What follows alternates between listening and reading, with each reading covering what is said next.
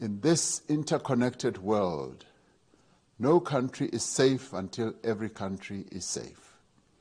We need to prepare now for future pandemics and work with greater determination towards the goal of universal health coverage. In the wake of the COVID 19 pandemic, we must increase investment towards the achievement of the Sustainable Development Goals by providing low income countries with a means of implementation.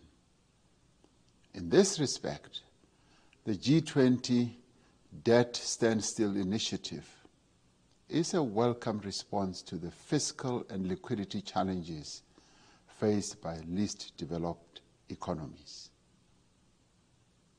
The agreement on the allocation of $650 billion dollars in special drawing rights is significant, but it is insufficient to meet the extent of the enormous need.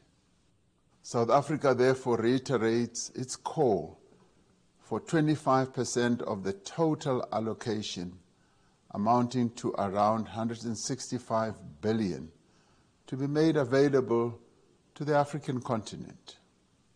Mr. President, climate change is an existential crisis for the entire world, yet poor countries are particularly vulnerable. Although we bear the least responsibility for causing climate change, African countries are among those that carry the greatest burden and cost. For the forthcoming COP26 in Glasgow, to respond adequately to the crisis we face,